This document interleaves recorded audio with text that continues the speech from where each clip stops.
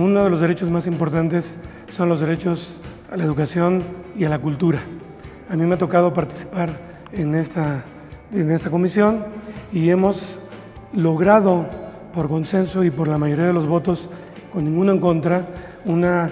carta de derechos muy importante que va a garantizar a los miembros de la comunidad cultural de la ciudad poder tener una participación logrando eh,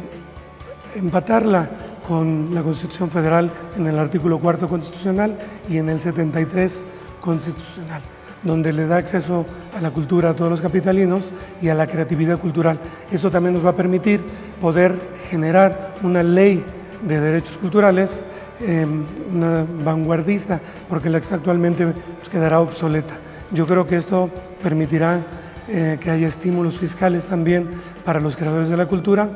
y esto garantizará los derechos de todos los que pertenecemos a este sector.